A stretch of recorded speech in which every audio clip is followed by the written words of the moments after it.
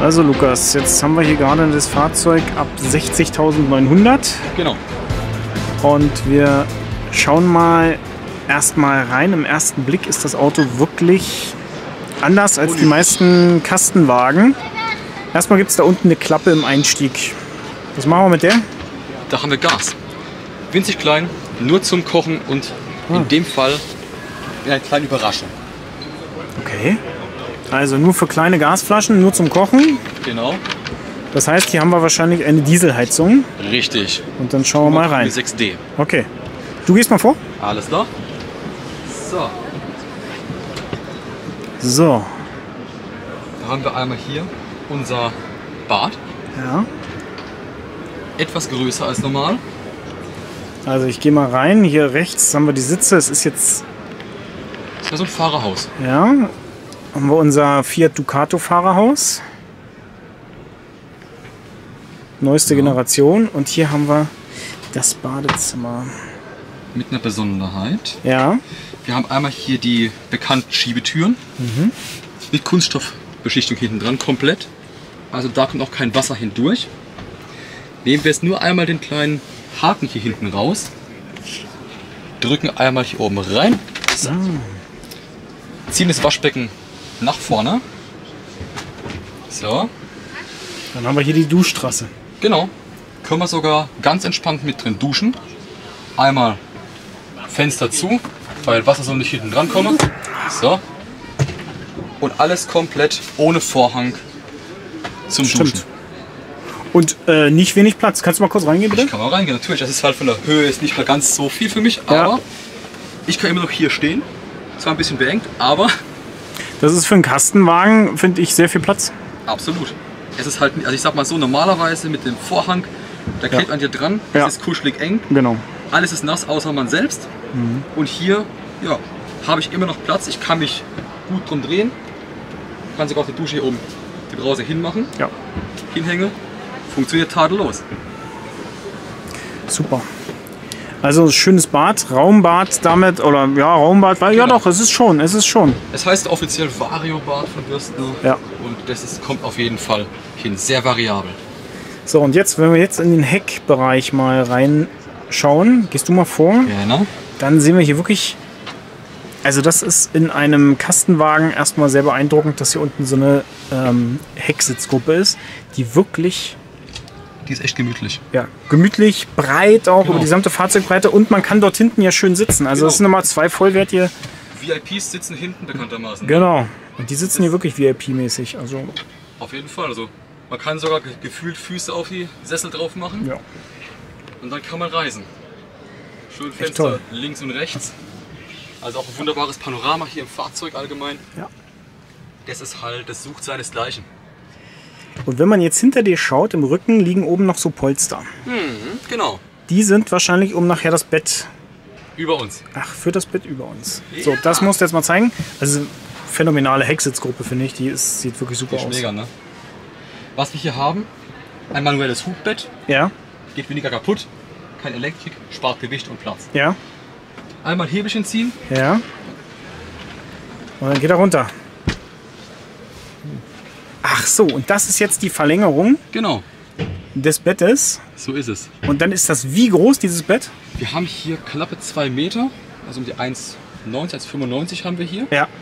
Länge? Bereich, genau Länge, richtig. Im oberen Bereich circa 1,35 in der Breite, hier unten rund 1,50 Meter. Also schon Bett entsprechendes Maß und nochmal eine richtig schöne Haube oben drüber. Ah ja. Heißt, Licht könnte reinkommen, Luft kann auch mit reinkommen. Ja. Natürlich mit Mückenschutz und Ja. Verdunkelungsrollo. Und dort hinten haben wir nochmal ein, äh, ein Fach, ja, hinten eingelassen. Genau. Nochmal schön für alles, was man so nachts eben verstauen will. Oder als Stauraum allgemein für Klamotten und Co. für kleinere. Also wirklich toll, ja. Und auch gerade hier sehr schön beim Eliseo exklusiv kriegen wir hier für schon fast ein Apfel und ein Ei für 59 Euro.